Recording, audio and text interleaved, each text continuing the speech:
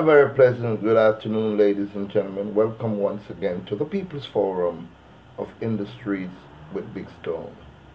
Now, we have heard that anything that harbors 20 or more people is against the law, which simply means there's no permit for a party, there's no permit for a wake, there's no permit for even a funeral that consists of more than 20 people and there's no permit for any form of entertainment, including a dance or a stage show. But guess what? Bad boy Trevor got himself into trouble with the law last night. Let's take a look.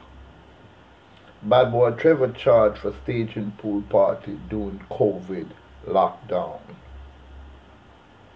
Actor and director Garfield Reid, more popularly known as Bad Boy Trevor, has been taken into custody after cops reportedly raided a pool party being held at a house on Plantation Drive in Plantation Heights, St. Andrew last night, law enforcement sources revealed. Reid has since been charged with breaches of the Disaster Risk Management Act, the State of Emergency Act, the Spirit License Act, and the Noise Abatement Act according to law enforcement agents.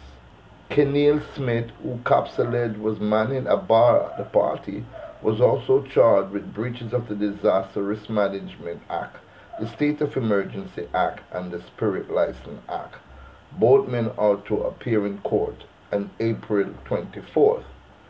The Disaster Risk Management Enforcement Measures Act which outlines some of the steps being taken to contain the spread of the coronavirus, took effect last Wednesday, a day after it was tabled in the House of Representatives. Police spokeswoman, Senior Superintendent Stephanie Lindsay confirmed Reid's arrest. I know that he was keeping a party in the breach of the order, Lindsay told the Gleaner this morning. The police say they learned about the party through a message that was being circulated on social media platforms. It's reported that when the police arrived at the party, they saw more than 50 revelers gathered around a pool, frolicking to loud music. A quantity of liquor was seized, the police said. 50? Come on, rude boy Trevor. 50 people after the law said no more than 20 people should congregate or have close contact at any one time. I think that was carelessness on your part. And um, we have to be careful, ladies and gentlemen. We have to be careful and follow the instructions of the government and law enforcement. I'm also using this opportunity to reach out to a lot of youngsters.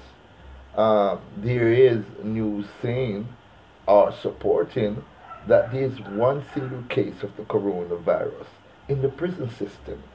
No young youths or people or anyone who think about breaking the law. Now is not the right time to break the law. Because guess what? You don't want to be confined to a cell or confined to a prison with a lot of people and we don't know how this virus can spread we know it can spread rapidly because we've seen what has happened in Italy. 800 people, 1,000 people dying from the virus. So this is not a joke. We must follow the law. If we do not follow the law, then the full brunt of the law will be meted out to you with no exceptions. Ladies and gentlemen, I think the government is doing a remarkable job in trying to contain the stem or the flow of this deadly coronavirus disease. However, I think we need also to look at protecting our citizens from predators, from being kidnapped, from being shot, from being killed. We have to step up on that. We cannot afford to let the coronavirus stop us from fighting that fight as well. We know the police department and the Jamaica military is far stretched when it comes to manpower. But under the circumstances, I must applaud them. I think they're doing a remarkable job. All the first, um, what you call the responders are doing a tremendous job. The fire department, the health department, our nurses, our doctors. We salute you. We salute you for constantly putting your life, risking your life uh, for us, the common people of this country. And we owe it to our first responders to be very, very careful that we follow the law to the T. Because if we don't follow the law to the T, you will be arrested and placed in an enclosed area where you catching the virus is very, very high risk. Thank you very much for listening, ladies and gentlemen, and watching. And please have a safe day.